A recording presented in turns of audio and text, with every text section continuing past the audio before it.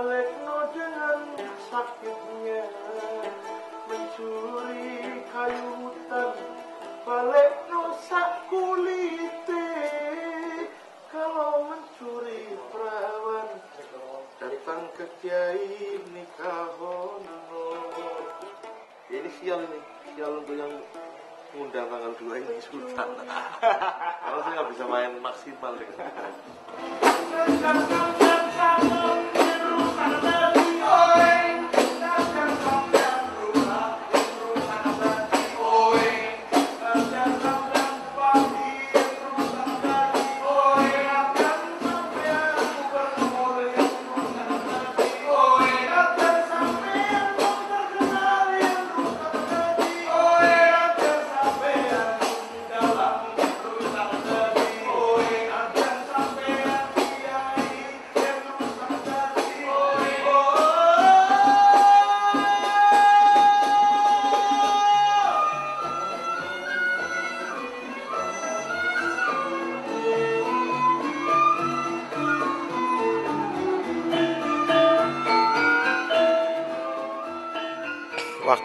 Masih di pondok saya diajarin seluruhnya itu harus dengan atas nama Allah ya. Lillahi ta'ala dan atas nama Allah. Dan itu saya mencobanya semampu saya. Makan, minum, menyanyi, pentas. Dan bukan hanya yang baik-baik kadang-kadang yang yang saya sadar ini tidak baik gitu lah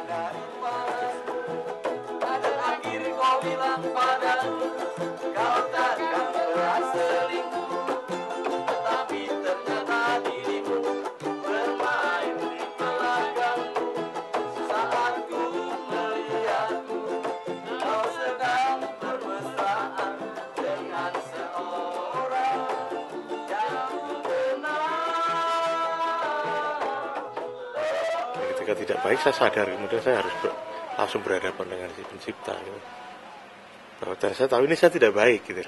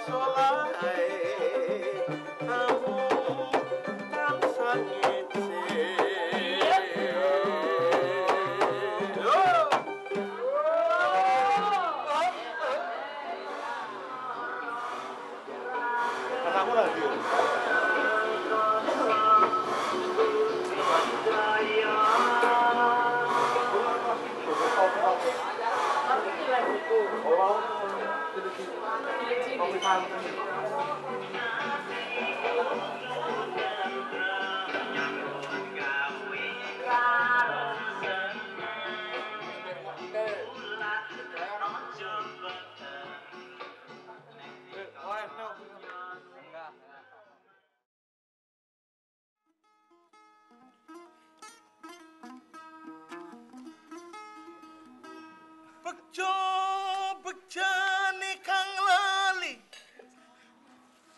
Hesi bekja wong kang eling lan waspada Hmm.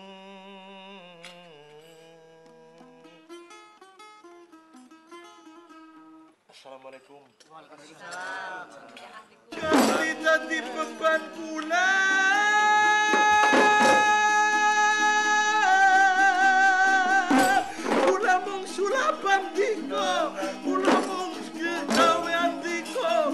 Dengar-dengar sampean kalau naik pesawat mesti dua seat ya? Enggak.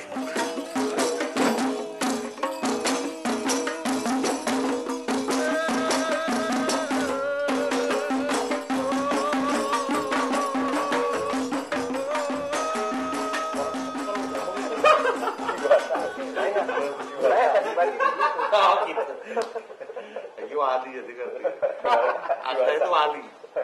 Tua nang gili. Bukan, bukan wali songo. Wali itu tua nang gili. Gili itu jalan. Jadi tua di, di pengembaraan di jalan raya. Kalau tegar itu Kalau berguru udah ke wakil itu Wali. Macam-macam karo wali. Ya Pokoknya puas mati gue Bukan wali songo loh. Jadi tua di jalan. Gili itu jalan. Maksudnya tua karena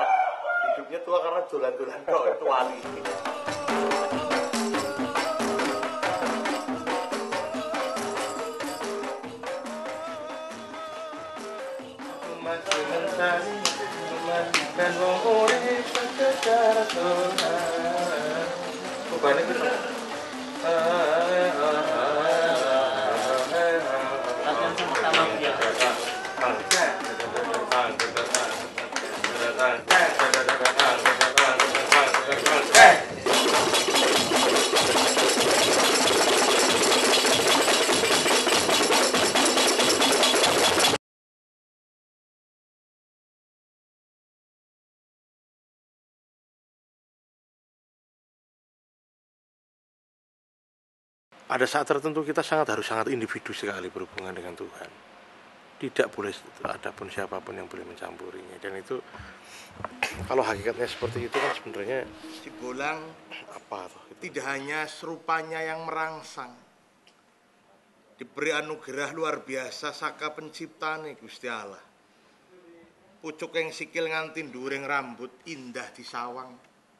Ora perlu nang salon ora perlu nganggo rias memang alam wis menehi kanugrahan kelawan sing gawe pencipta la la la la ilaha illallah juga luar saya pikir ya figur cebolong ada adalah semu, se, sebuah keri, apa kerindungan terhadap masa masa masa remaja di mana kita betul-betul apa sangat kreatif mencari di, eh, jati diri kita ya. Jadi Hujan. eh, pulang Cibolang sekarang uh, Slamet Gundono sudah temukan jati dirinya dalam paling dalam seninya, dalam kehidupan keluarganya, dalam perjalanan spiritualnya.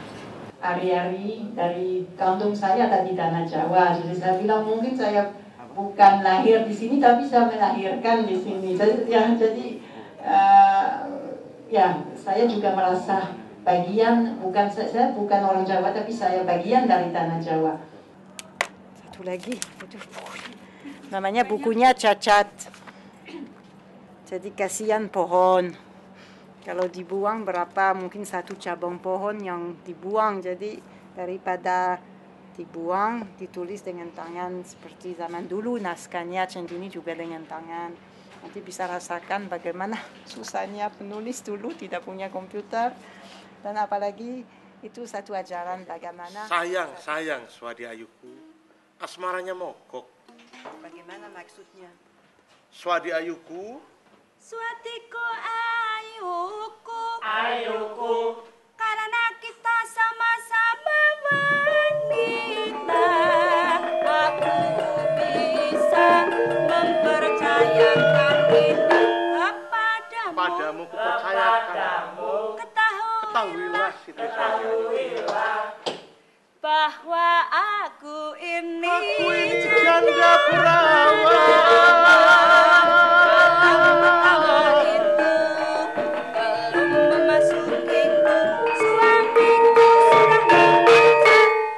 subuh aku lihat sakarnya menggelantung di tanah layaknya seperti tikus kecil. Adipati terkencing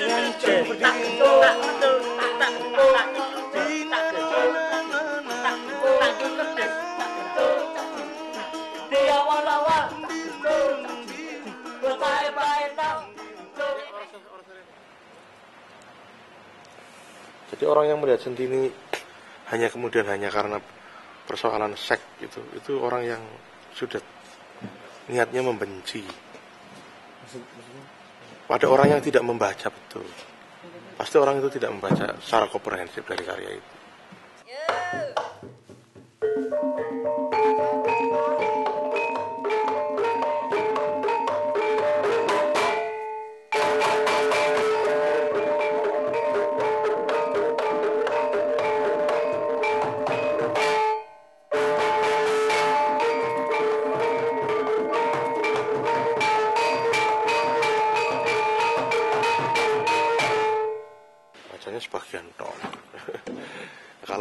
Carter iya, memang gaya James Bond ya kan. Kalau Mikael kan cari halaman-halaman yang Iya. bagusnya aja. Kalau Santini ini enggak.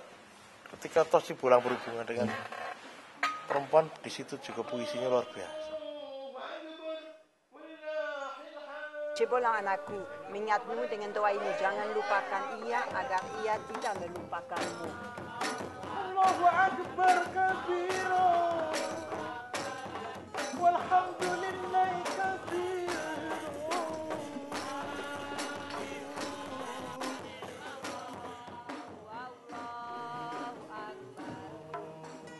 Cobalah bungkam, ayanda ilmu apa itu?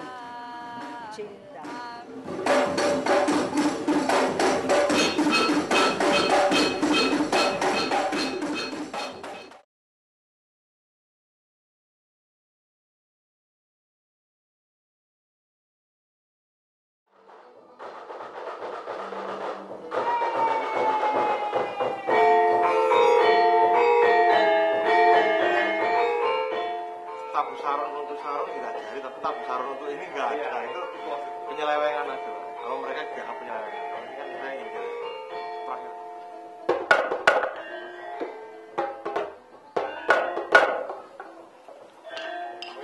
Namanya keprak keprak itu kalau dua yang kulit kan jejak kan pakai kaki. Oh. Iya. Kalau saya jejak. Nah kalau jejak nggak ada kotaknya jejaknya gimana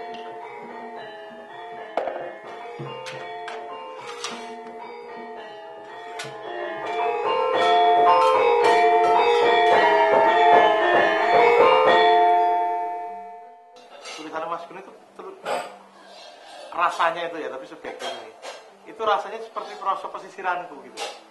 Jadi yang meloho ya. Tapi juga meloho cap bloko tapi juga pandai berstrategis gitu loh ya.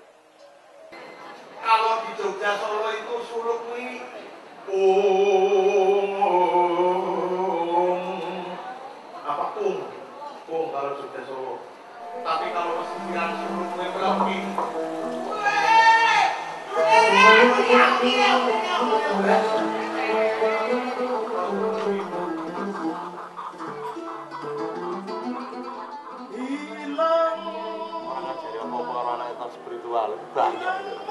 karena itu sebuah simbolisasi sebuah tipologi sesuatu yang masyarakat yang realistis ya realitas dari sebuah masyarakat Jawa. Bahwa itu seluruh orang gitu kita seluruh orang makanya saya bilang Karno itu tipologi Jawa. Hei para penari di joget dan indiko serisik kamu. Lakunya kayak meri sebelah kamu saya kalau mau cerita itu penting ya karena sebenarnya lalang jagat itu Karno bukan Arjuna tapi orang Jawa kemudian memilih Arjuna sebagai lalang jagat. Karena apa ya? Karena banyak perempuan yang di sekitarnya. Waktu lalang jagat itu Karno orang yang merebut segalanya. Orang yang kerja keras berdarah orang yang menemukan dirinya tidak diberi gratis oleh siapa pun. Dia berkeringat keringat berdarah-darah betul. Setelah saya pikir-pikir saya itu hampir kayak Karno. Saya itu termasuk orang yang tidak pernah diulang tahun ini lahirnya di kangelan jero weteng kuwi bobote bayi isi paling gede bayi pindah nggih Bu? 10 kilo. Dipenet-penet orang lahir-lahir biasanya diajani udah lahir lalu malah dijaluki dangdut. Bapaknya kulo ibunya kulo bingung ibu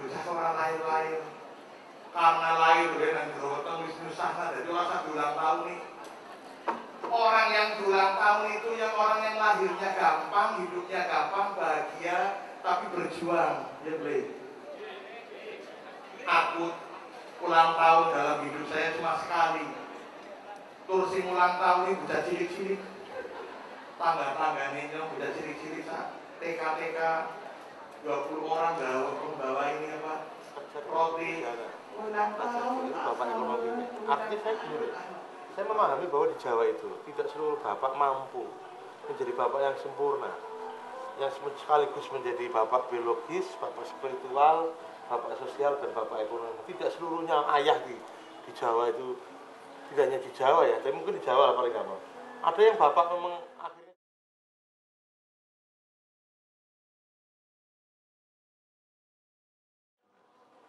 itulah ambisinya Arjuna yang berlebihan itu. kalah dari seorang yang murid yang tidak tercatat gitu. Nah saya itu murid yang tidak tercatat dari satu.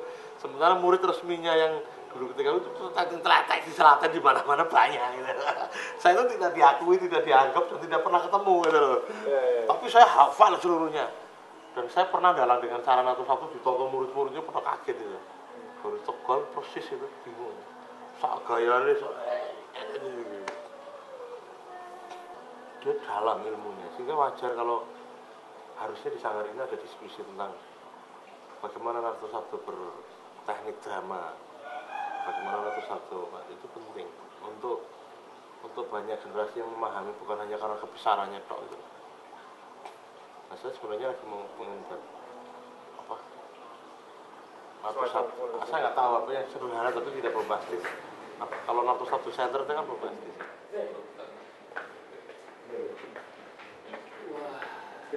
Jadi saya datang sini memang eh, saya tetap bertanya sama saya dulu. Kalau saya pribadi, saya punya komitmen dengan beberapa teman juga yang tapi apa strategi yang paling tepat?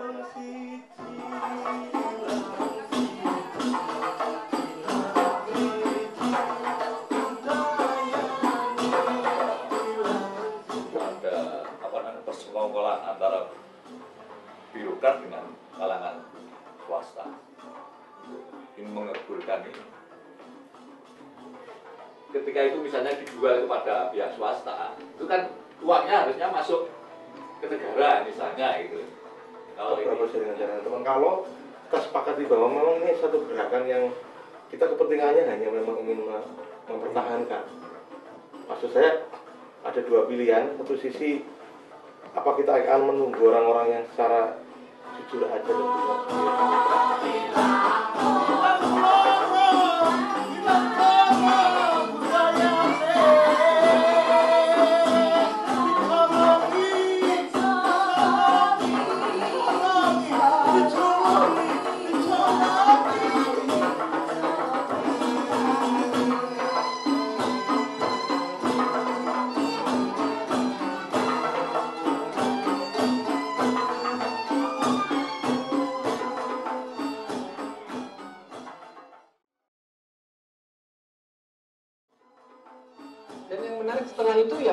sholat, subuh berhenti, dan kisah itu tidak hanya pada satu kisah.